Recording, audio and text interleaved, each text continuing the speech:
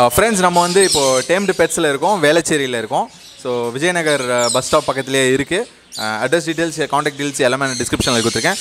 நம்ம வந்து இங்கே என்ன பண்ண போகிறோம் பார்த்தீங்கன்னா நம்ம ப்ரோ வந்து uh, ஒவ்வொரு எக்ஸாட்டிக் பெட்ஸை வந்து எப்படி வளர்க்குறது வளர்ப்பு முறை அதுக்கப்புறம் அவங்களுக்கு எப்படிலாம் டேக் கேர் பண்ணுறது அதை பற்றிலாம் நிறைய டிப்ஸ் கொடுக்க போகிறாரு இந்த வீடியோவில் ஸோ நம்ம சேனலில் வந்து ஒவ்வொரு அனிமலாக ஒவ்வொரு எக்ஸாட்டிக் பெட்டாக நம்ம பார்க்க போகிறோம் ஸோ என்னால் முடிஞ்ச அளவுக்கு எத்தனை அனிமல்ஸோட வளர்ப்பு முறை அதோட டிப்ஸு அது எல்லாமே நம்ம ப்ரோ வந்து நமக்கு எக்ஸ்பிளைன் பண்ண போகிறாரு ஒன் பை ஒன்னாக நீங்கள் நம்ம வீடியோவில் ஃபியூச்சர் வீடியோஸில் பார்க்கலாம்.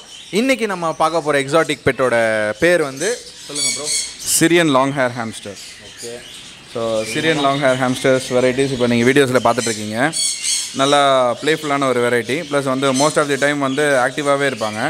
ஆனால் இவங்களோட மெயின் ஆக்டிவ்னஸ் பார்த்தீங்கன்னா நைட் டைமில் தான். ஸோ இவங்களது பார்த்தீங்கன்னா இவங்க ஃபீடிங் ஹேபிட்லாம் எப்படின்னு பார்த்தீங்கன்னா நீங்கள் ஃபுட்டு வச்சதுமே எடுத்து வந்து பவுச்சில் ரொப்பிடுவாங்க. அதுக்கப்புறமா சைடில் எடுத்து போய் வச்சுட்டு சாப்பிட்டுட்ருப்பாங்க நீங்கள் பார்த்துருப்பீங்க வீடியோலேயே. ஸோ வீடியோவில் பார்க்கும்போதே உங்களுக்கு தெரியும் எவ்வளோ ஆக்டிவாக இருக்காங்க அப்படின்றது.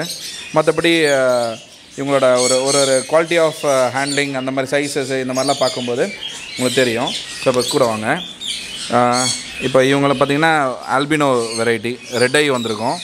ரெட் ஐயில் ஒயிட் கலர் காம்பினேஷன் வர்றது தான் ஆல்பினோன்ற வெரைட்டி ஸோ இதெல்லாமே வந்து பார்த்திங்கன்னா கோல்டன் வெரைட்டிஸில் வருது. இதெல்லாமே கோல்டன் வெரைட்டிஸு இப்போ இவங்களோட வாயில் பார்த்தீங்கன்னா அந்த பவுச் இருக்குது பாருங்கள் இந்த பவுச் ஃபுல்லாக இருக்கிறதே அவங்களுக்கு வந்து சாப்பாடு தான். ஸோ அந்த சாப்பாடை எடுத்துகிட்டு போய் அவங்க ஹைட் பண்ணி வச்சுப்பாங்க. இவங்களாம் பை கலர்ஸு இது பிளாக்கு இது ஃபுல்லாக பிளாக்கு பிளாக் இவங்களை இப்படி தான் பிடிக்கணும். ஸோ அதனால் வந்துட்டு அவங்க ஹேண்ட்லிங் மெத்தடாலஜியை வந்துட்டு இவங்க காலரில் பிடிக்கிறது தான் அப்போ தான் அவங்க அவங்க வந்து பேரண்ட்ஸ் வந்து குட்டியை தூக்கிட்டு போகிற டைப் இது. அந்த அந்த ஹோல்டு தான் இது. நம்ம பூனைக்குட்டிலாம் தூக்குறோம்ல அந்த மாதிரி தான் இந்த இவங்கள வந்து இப்படி தான் ஹேண்டில் பண்ணணும் அவங்கள. லைஃப் ஸ்பேன் பற்றி சொல்லுங்கள் இவங்களோட லை லைஃப் ஸ்பேன் பார்த்தீங்கன்னா உங்களுக்கு one to three years so இதுதான் அவங்களுது ஸோ நல்ல குவாலிட்டியாக எடுத்திங்கன்னா மட்டும்தான் த்ரீ இயர்ஸ் வரைக்கும் வரும். இல்லாட்டி வந்துட்டு அந்த த்ரீ இயர்ஸ் கிடக்கிறது ரொம்ப கஷ்டமாயிடும். அதனால் நீங்கள் காஸ்ட் வைஸ் கம்மியாக இருக்கணும்னு சொல்லிட்டு தேடி அலைஞ்சிட்டு இருக்கிறத விட குவாலிட்டி வைஸ் நல்லா இருக்கணும்னு சொல்லி தேடி அலைஞ்சிங்கன்னா நல்லாயிருக்கும். இப்போ இவங்களோட சைஸ்லாம் பார்த்தீங்கன்னா தெரியும் உங்களுக்கு. ஸோ அந்த கோல்டன் ஹாம்ஸ்டரோட குவாலிட்டி அண்ட் சைஸ் வந்துட்டு இப்படி தான் இருக்கணும்.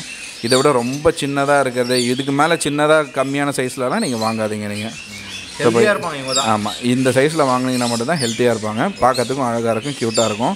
அவங்கள அவங்களே பார்த்துக்கிற அளவுக்கான குவாலிட்டி இருக்கும் உங்களுக்கு ஸோ இப்போ அப்பார்ட்மெண்ட்டில் மாதிரிலாம் வளர்க்குறாங்கன்னா இது ஈஸியாக வளர்க்கலாம் ஆமாம் இது வந்து no expense no cost pet இது மேக்ஸிமம் ஸோ இப்போ இவங்களோட ஸ்பெஷாலிட்டியே பார்த்தீங்கன்னா அந்த வாங்கும்போது வர பர்ச்சேஸ் காஸ்ட் மட்டும்தான் உங்களுக்கு மற்றபடி வந்துட்டு அவங்களுக்கு மற்றபடியான காஸ்டிங்கே கிடையாது அவங்களுக்கு. ஸோ மற்றபடி ஃப்ரூட்ஸு வெஜிடபிள்ஸு இந்த மாதிரி இருக்கிற விஷயங்கள் இல்லாமல் அந்த பெல்லட்ஸு ஸ்டாண்டர்ட் பெல்லட்ஸ்னு சொல்லிட்டு நம்ம கொடுக்குறோம். அந்த ஸ்டாண்டர்ட் பெல்லட்ஸ் மட்டும்தான் உங்களுக்கான காஸ்ட்டு அதிகபட்சம் போனால் மேக்ஸிமம் ஒரு ஐநூறுரூவா அறநூறுவா ஸ்பெண்ட் பண்ணுவீங்க ஒரு மாதத்துக்கு ஓகே கலரேஷன் வெஜிட் இதில் கலரேஷன் நிறைய இருக்குது இது இல்லாமல் வேறு ஏதாவது வெரைட்டிஸ்லாம் கூட வருமா? இந்த கலர்ஸ் இல்லாமல் இன்னும் இதிலே இருக்கிற கலர் காம்பினேஷன்ஸ் தான். சொல்ல எல்லா கலர்ஸுமே இப்போ நம்மக்கிட்டே இருக்கீங்க. ஐவரி கலர்ஸ் இருக்குது ஃபுல் ஒயிட் இருக்குது ப்ரௌன் இருக்குது கோல்டன் கலர் இருக்குது ஸோ இது இது வந்து வைல்டு கலர்னு சொல்லுவாங்க அந்த கருப்பு கலர் வர்றது.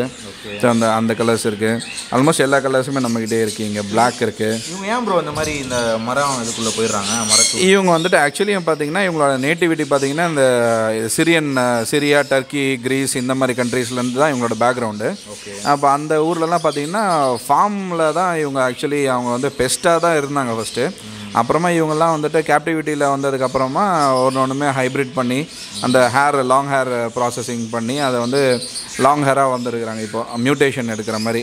இப்போ பேர்ட்ஸ்லலாம் மியூட்டேஷன் எடுக்கிறாங்கல்ல? அது மாதிரி இவங்களேருந்து அடுத்தடுத்த ஜென்ரேஷன் வந்துட்டு செலக்டிவ் ப்ரீடிங் பண்ணுறதுனால வர்றது தான் இந்த கலரேஷனு எல்லாமே வர்றது. நார்மல் வைல்டு கலருன்றது வந்து அந்த ஒரு ப்ரௌன் கலர் தான். நம்ம ஊர் ரேட்டோட அதே கலர் காம்பினேஷனில் தான் அவங்களோட கலர் காம்பினேஷன் இருக்குது இப்போ வர்ற கலர்ஸ் தான் இப்போ இதெல்லாமே வந்து ப்ராப்பர் செலக்டிவ் ப்ரீடிங் வழியாக வர்றது. இதோட ப்ரீடிங் பற்றி சொல்லுங்கள் ப்ரோ ப்ரீடிங் ஜென்ரலி நாங்கள் வந்து ப்ரீடிங் வந்து யாருக்குமே சொல்லியும் கொடுக்கறதில்ல. ஸோ லைக் டீட்டெயில்ஸ் ஏன்னு பார்த்தீங்கன்னா வந்துட்டு நிறைய பேர் எடுத்துகிட்டு போயிட்டு ரெஸ்பான்சிபிள் ப்ரீடிங்கே பண்ண மாட்டாங்க. எடுத்துகிட்டு போய் மேல் ஃபீமேல் எடுத்துகிட்டு போய் வச்சுட்டு அதை வந்து தப்பாக ப்ரீட் பண்ணிவிட்டு அது வந்து அதோட குட்டிங்களை அதுவே சாப்பிட்றது அந்த மாதிரி வீட்டில் ரொம்ப நெகட்டிவ் விஷயங்கள்லாம் இருக்கறனால. ஸோ அதனால் மேக்ஸிமம் மேக்ஸிமம் வந்துட்டு நாங்கள் வந்து அந்த ப்ரீடிங் டெக்னிக்ஸை வந்து யாருக்குமே சொல்லிக் கொடுக்கறதில்ல. மேஜர் ரீசன் வந்துட்டு அந்த அதோட குட்டிங்களை அதுவே சாப்பிட்ருவோம் அந்த மாதிரி இருக்கிற விஷயங்களால தான் நாங்கள் சொல்லிக் கொடுக்கறதில்ல. நாங்கள் சஜஸ்ட் பண்ணுறதும் பார்த்தீங்கன்னா மேக்ஸிமம் வந்துட்டு மேல் மேல் ஃபீமேல் ஃபீமேல் வச்சுக்கிறது தான் நாங்கள் சஜஸ்ட் பண்ணுறோம் ஏன்னா அது ஆஸ் எ பெட் கீப்பிங் உங்களுக்கு வந்து அந்த ஹாபி என்ஜாய் பண்ணுன்றது தான் இருக்குமே தவிர்த்து ப்ரீடிங் வந்து இட்ஸ் அ செப்பரேட் ரெஸ்பான்சிபிலிட்டி அதுக்கேற்ற இது அந்த டைமையும் அந்த கேஜு அந்த அளவு சாப்பாடு டைமிங்கு இதெல்லாம் நீங்கள் மெயின்டைன் பண்ண முடியும்னா மட்டும்தான் நீங்கள் ப்ரீடிங்குள்ளே என்ட்ரு ஆகணும். இல்லாட்டி வந்து அந்த ஃபீமேல் ரொம்ப வீக் ஆகிட்டு அது தவறதுக்கான வாய்ப்பு இருக்குது அது டெலிவரி டைம்லேயே இருக்கலாம் இல்லாட்டி அதோட குட்டிங்களை அதுவே சாப்பிட்றது அந்த மாதிரி நெகட்டிவ்னஸ் நிறைய இருக்கும். So we don't suggest the end user to breed so நீங்கள் வந்து வளர்க்குறத மட்டும் பார்த்தா போதுன்றது தான் எங்களோட இது ஓகே சார் இப்போ நான் இந்த மாதிரி ப்ரீட்ஸ்லேயே நிறைய ப்ரீட்ஸ் வச்சுருக்காரு எக்ஸாட்டிக் பெட்ஸில் ப்ளஸ் எக்ஸாட்டிக் பேர்ட்ஸும் இருக்குது ஸோ அதை பற்றியும் நம்ம எவ்ரி வீக் நம்ம வந்து புதுசு புதுசான ஒவ்வொரு பேர்ட்ஸ்க்கான வளர்ப்பு முறை அதை பற்றிலாம் நம்ம பார்க்க போகிறோம் டிப்ஸ் அதெல்லாம் பார்க்க போகிறோம் ஸோ எனிபடி uh, உங்களுக்கு ரெக்குயர்மெண்ட் இருக்குன்னா நீங்கள் சாருக்கு கால் பண்ணலாம். Uh, அவரோட நம்பர் காண்டாக்ட் டீல்ஸ் எல்லாமே நான் கொடுத்துட்றேன். டேம்டு பெட்ஸு டிஸ்கிரிப்ஷனில் இருக்குது கைஸ் நீங்கள் கால் பண்ணிக்கோங்க. வாங்க இது இப்போ வளர்க்க முறை எல்லாமே பார்த்துட்டோம் ப்ரோ இதெல்லாம். வேறு ஏதாவது டிப்ஸ் அந்த மாதிரி ஏதாவது வாங்கின்னு போகிறவங்களுக்கு ஏதாவது கொடுக்கலாமா? நீங்கள் வந்து அதே சாப்பிட்ற கையிலே எடுத்துகிட்டு வந்து அந்த ஹாம்ஸ்டர் தொடுறது அந்த மாதிரிலாம் இருக்கக்கூடாது. ஏன்னா அவங்களுக்கு வந்து அந்த ஸ்மெல்லு வந்து ரொம்ப என்ன சொல்கிறது அவங்களோட இன்ஸ்டிங்க்ட் அது. ஸோ ஸ்மெல்லை வந்து டக்குன்னு ஐடென்டிஃபை பண்ணுறாங்க அவங்க. அவங்க அது சாப்பாடு நினச்சி கையை கடிச்சிடுவாங்க அந்த மாதிரியான விஷயங்கள்லாம் பண்ணுவாங்க. ப்ளஸ் இந்த அனிமல்ஸ்க்கெல்லாம் பார்த்தீங்கன்னா பாடி ஸ்ப்ரே டியோஸ் இதெல்லாம் செட் ஆகாது. ஸோ அதனால் அவங்களுக்கு தேவையில்லாமல் அவங்க பக்கத்தில் இருக்கும்போது ஸ்மெல் பண்ணுறது அப்புறமா இவங்களை தண்ணியில் போட்டு வாஷ் பண்ணுறது இந்த மாதிரியான வேலைகள்லாம் பார்க்கக்கூடாது. ப்ராப்பராக என்ன எஜுகேஷன் அதுக்கு தேவைப்படுதோ அந்த இது நம்ம கற்றுக்கிட்டதுக்கு அப்புறமா தான் அவங்கள வந்து வளர்க்குறது நல்லதாக இருக்கும். ஸோ நாங்கள் வாங்கும்போது நாங்கள் மேக்ஸிமம் இருக்கிற எல்லா டீட்டெயில்ஸும் கொடுத்துட்றோம். ப்ளஸ் எங்களோட காண்டாக்ட் டீட்டெயில்ஸும் நாங்கள் ஷேர் பண்ணுறோம் ஸோ இப்போ எங்ககிட்டேருந்து வாங்குறவங்களுக்கு நாங்கள் ஃபுல் சப்போர்ட் கொடுக்குறோம் நாங்கள் அதெல்லாம். ஓகே வெரி நைஸ் வாஷ் பண்ணுறது குளிப்பாட்டுறது இதெல்லாம்? ஆ இவங்க வந்து சாண்ட் பாத் இவங்களுது. ஸோ சாண்டு அவங்களுக்குன்னு தனியாக சாண்டு வருது. அந்த சாண்டில் தான் அவங்க பாத் பண்ணுறாங்க அவங்க சாண்ட் பாத் டைப் தவிர வாட்டர் பாத்துக்கு டைப் கிடையாது. ஸோ அந்த மண்ணில் போயிட்டு உருண்டு புரண்டு அவங்க உடம்புல இருக்க பேரசைட்ஸை கிளியர் பண்ணுறது அந்த மாதிரியான விஷயம் தான் அவங்க பண்ணுறாங்க ஓகே ஒன்லி சேண்ட் பாத் தான். குளிப்பாட்டுறது குளிக்கிறது இதெல்லாம் ஈரமன்ற டாப்பிக்கே கிடையாதுங்க ஓகே வெரி நைஸ் இப்போ தீனி அந்த மாதிரிலாம் சொல்லிட்டோம். இப்போ இதுங்களுக்கு மெடிசின்ஸு நோய் அந்த மாதிரி ஏதாவது வரதுக்கு சான்ஸ் இருக்கா? இல்லை உங்களுக்கு நோய் வரதுக்கான சான்சஸ்ன்னு பார்த்தீங்கன்னா வெட்டைல்னு சொல்லிட்டு ஒரு இஷ்யூ மட்டும் வரும். அது வந்து கேஜை க்ளீனாக வைக்கலனா தான் இது மேக்ஸிமம் வரும். மற்றபடி வந்துட்டு கேஜை க்ளீனாக வச்சிருந்தா இந்த இஷ்யூஸ்லாம் எதுவுமே இருக்காது. அவங்களுக்கு வந்துட்டு அந்த உட உட் ஷேவிங்ஸ் எல்லாமே வந்து க்ளீனாக வச்சுக்கணும். உட் ஷேவிங்ஸ்லேருந்து இருக்கிற அந்த அவங்க மோஷன் பூப்ஸு அவங்க சாப்பாடோட எக்ஸஸ்ஸு இந்த மாதிரியான விஷயங்கள்லாம் வந்துட்டு மேக்ஸிமம் வந்து நம்ம கிளியர் பண்ணி வச்சிடணும். ஸோ இது ஓ நம்ம வந்துட்டு க்ளீன் பண்ணாமல் அப்படியே வச்சுருந்தோம்னா அதுலேருந்து ஃபங்கல் ஃபார்மேஷனு வார்ம் ஃபார்மேஷன் இதெல்லாம் வந்துச்சுன்னா அப்போ பிரச்சனை ஆகிடும் அது. ஸோ இந்த கேஜ் கேஜுக்குள்ளே இருந்து அது வைக்க வேண்டியது இவ்வளோ தானே ஹாம்ஸ்டர் தானே? அப்படின்னு சொல்லிட்டு யதார்த்தமாக விடாமல் நம்ம வந்து ப்ராப்பராக மெயின்டைன் பண்ணால் அந்த த்ரீ இயர்ஸை வந்து நம்ம கண்டிப்பாக அவங்கள வச்சுக்கலாம் ஸோ நல்லா ட்ரையாக வச்சுக்கணும்.